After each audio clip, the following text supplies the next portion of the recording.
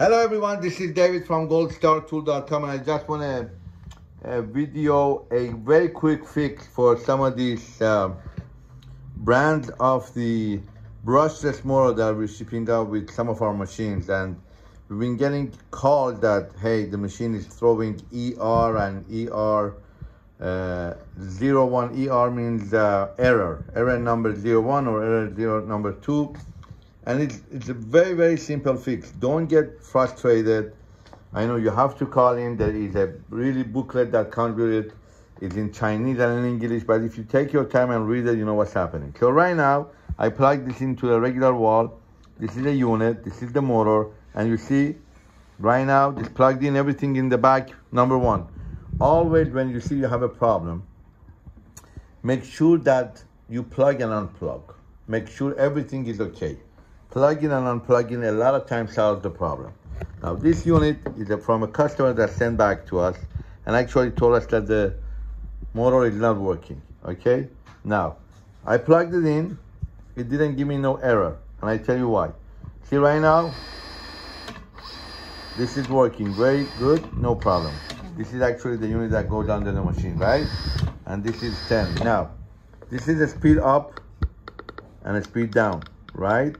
Now, a lot of people, people just touch this P. What is T? P is needle position. And you see if you do close-up color, come on. You see this needle? You see there's a red line and the needle up and down? This is a needle positioning uh, uh, button, meaning that if you want the needle to stay up or needle to stay down. And when there is no uh, plug-in for the bag, which is gonna go here, the needle position unit, which goes to the side of the sewing machine, goes in here. When it's not plugged in, and you go ahead and press this, you see the light comes on and two dots here. The light just came up that shows that the needle is up, and there is two dots here. When that happens, when you the turn on the machine, it's gonna give you what? The error number zero one even though the machine is working, even though everything is perfect, it still is gonna give you the error number.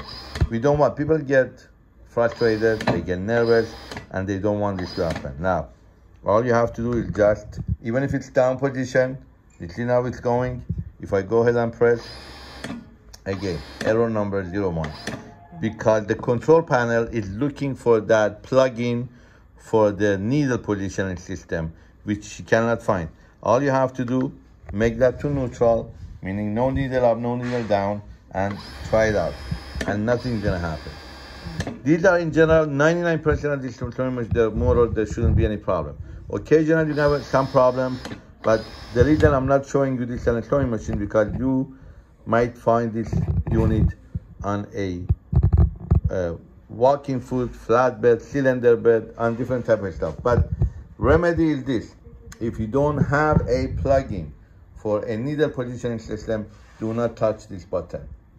P means programming. When you press all the way down, you could get to the programming and you could save stuff.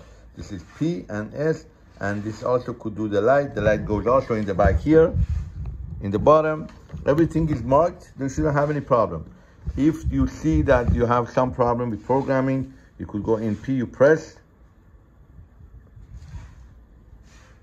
and you turn off the machine and you turn it on and then you could, when you turn it back on, it will show you uh, the things that you could do with the machine. But in general, you're not gonna have any problem with this. Right now the machine was off. Anyways, thank you so much for watching. Send me your question. I'm gonna try to answer and make a video for you and put it up YouTube. Thank you for watching. Go to our website, YouTube, Instagram, Facebook, like, thumbs up, and share with your friends. Thank you for watching.